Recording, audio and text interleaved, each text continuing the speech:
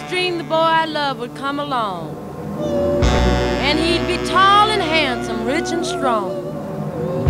Now that boy I love has come to me. But he sure ain't the way I thought he'd be.